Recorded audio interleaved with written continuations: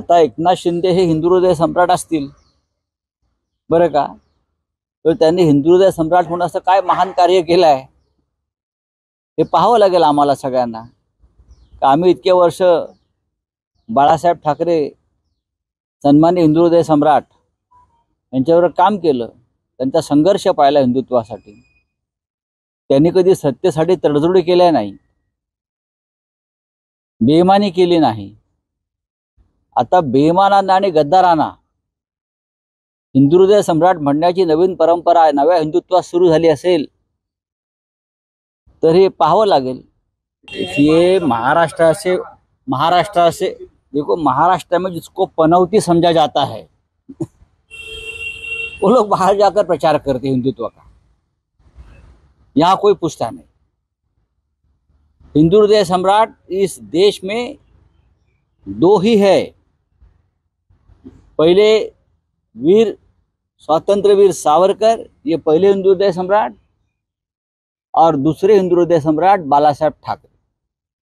न होगा, ना पहले था। लोग इन, लोगों ने ये दोनों को ही माना है हिंदू हृदय सम्राट, क्योंकि उनका संघर्ष, उनका त्याग हिंदुत्व के बारे में बहुत बड़ा रहा, और पूरे समाज को जागृति लाने का काम ये दो नेताओं ने किया संजय राउत यांनी शिंदे साहेबांच्या शिवसेनेची चिंता करू नये. पक्षाचं नाव चिन्ह आणि हिंदुत्वाचा बाळासाहेबांचा विचार शिंदे साहेबांना मिळालाय तुमचं अस्तित्व संपतं याची काळजी घ्या. आणि शिंदे साहेबांनी हिंदू हृदय सम्राट लावलं नाही किंवा त्यांच्या महाराष्ट्रातल्या कार्यकर्त्यांनी तिथल्या कार्यकर्त्यांनी लावलंय.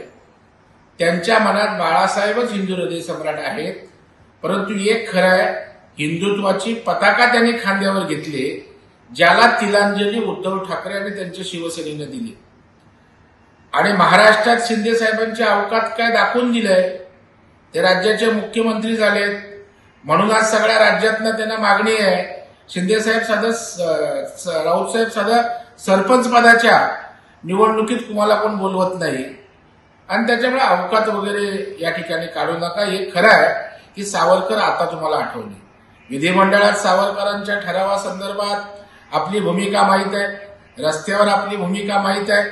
या निमित्तानं सावरकर हिंदू हृदय सम्राट होते हे तरी मान्य केलं हे नसे थोडकी.